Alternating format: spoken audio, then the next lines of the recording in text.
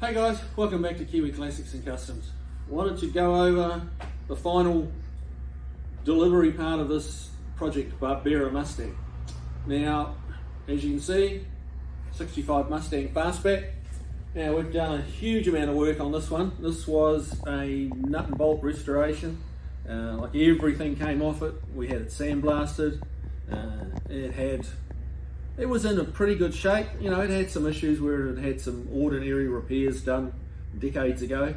Um, but yeah, we got all that straightened out. There was, there's, uh, it still has all its own body panels. Even the rear quarters are original to the car. Um, just had a few dents and bangs here and there, stuff like that. Had a little bit of hail damage, uh, stuff like that. We got all that straightened out. Barry put a beautiful coat of Barbera red, um, two-stage you know, base coat, clear coat, clear coat on it.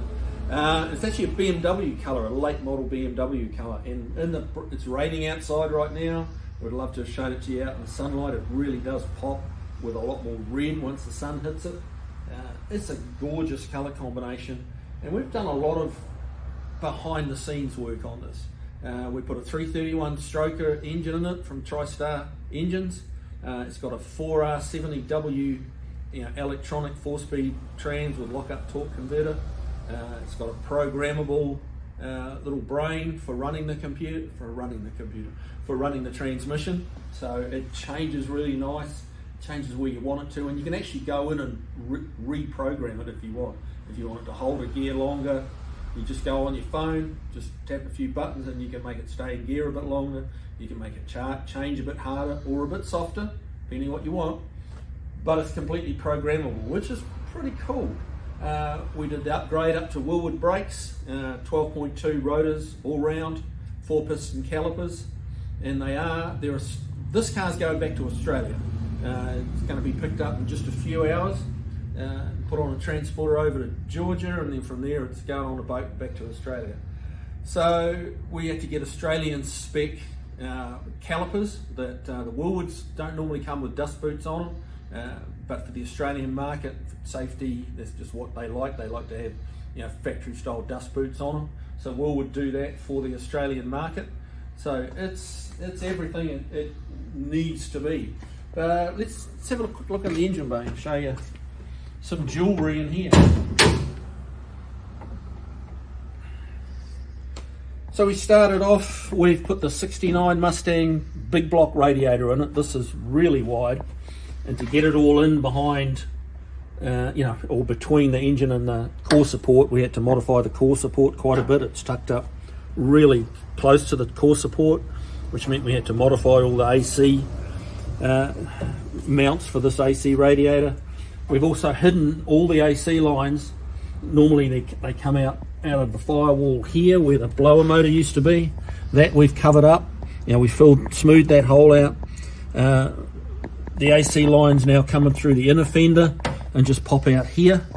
So you've got just a very, you know, a foot, you know, eight inches of AC hose in the engine bay. We put a lot of little billet type stuff on it, like even the battery hold down is a billet, billet aluminum. The shock absorber top hat's a, a billet.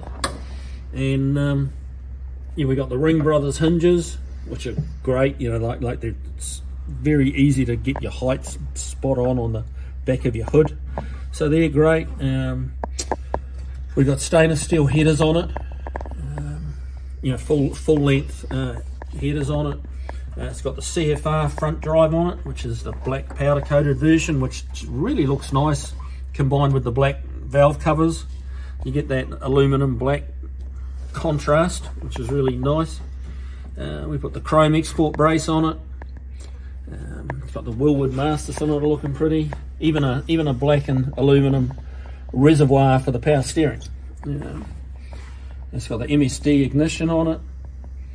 Yeah. And everything's, you know, all the wiring's been hidden. The wiring runs under the, the left-hand front fender and is all hidden. So you don't have, we don't have any solenoid hanging out here like they normally have. Uh, so it's just really clean. There's a lot of subtle changes under here. But, you know, it takes, takes a lot of time to do, but the finished result is this is a really clean, super clean, tidy engine bay. And, and it's nice, it's pretty. So there's that. Now that radiator is huge compared to the stock one. So the engine from TriStar, 430 horse, it's aluminum heads, it's got H-beam rods. Um, this thing will absolutely sing. We hook that up with a Magnaflow exhaust and it sounds nice. It sounds really nice, but that's a super strong engine. You'll be able to rev that. You know, probably the red line on that somewhere around 7,500, like all day long. Um, and with the H-beam rods, nothing's going to let go. Um, so that's that. If you peek down in the wheels here, we've got Foose wheels on it, 17s front and rear, a little bit wider in the rear. Um, you've got the Wilwood calipers in here, as I say, they're the, the dust booted ones for the Aussie market. We've got some, shoot in front of the camera, and we've got Ring Brothers uh, door mirrors. Now they're all billet, really nice touch. And yeah, this is just a super clean, um, just, you know, perfect car really. Um, we put the GT rear valance on it, so we got the exhaust exiting through the rear valance. It's a little bit harder to see with the door closed.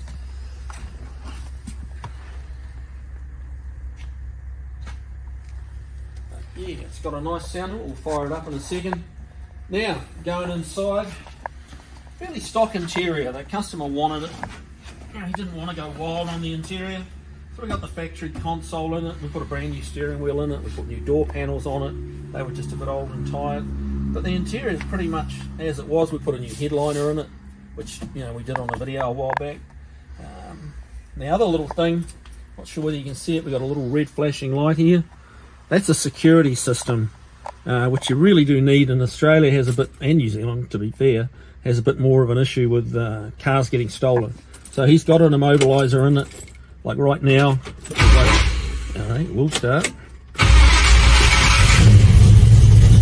It has a little immobilizer deal on the keyring, which turns it off.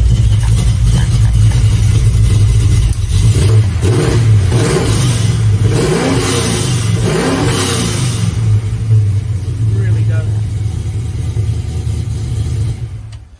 Really does have a nice crisp sound to it, and when it when it starts to get up, sort of over 3,500, it really starts to sound nice.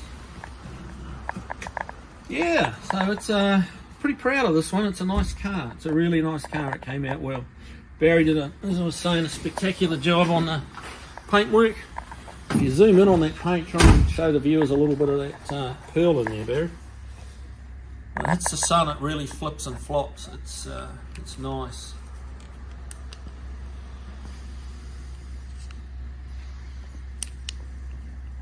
And it looks, you know, it does. They did do a, a colour somewhat like this from the factory, which this car was originally, was a, a burgundy, but it had very little uh, metallic or pearl in it. This has just brought it up into the 21st century, and uh, and then you know with the wheels, you know, got a, a, more aggressive, more aggressive stance on it, and you know like the, the whole thing, you know, the track is wider overall with the wider wheels. Yeah, it's a pretty little car. It's uh, it's one I'd own, that's for sure. But uh, you know, uh, a couple of hours it'll be on a truck heading out of here back to its uh, proud new owner. Not new owner, but proud owner. He's had it for quite a while. Uh, but yeah, we're proud of it. Um, hopefully he'll love it, love the sound, love the way it goes. It's fast. It is fast. 430 horse in this little car. It's pretty light. So it really does truck along well. So yeah, that's it. Project Barbera. All done and dusted. Now we're ready to go on to stuff like the Cougar, a couple of other things we got going in here. And uh, anyway, hope you enjoyed the car. Hope you enjoy the car, Jason.